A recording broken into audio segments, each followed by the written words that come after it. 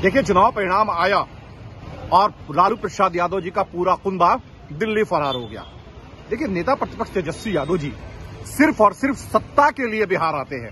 जब इनको उम्मीद जगती है कि अब इनके कुछ विधायक जीत जाएँगे तो ये कुछ कर सकते हैं तो बिहार पहुँच जाते हैं। भाई साहब, को बिहार की जनता से कोई लेना देना नहीं है। ये भगौड़े हैं।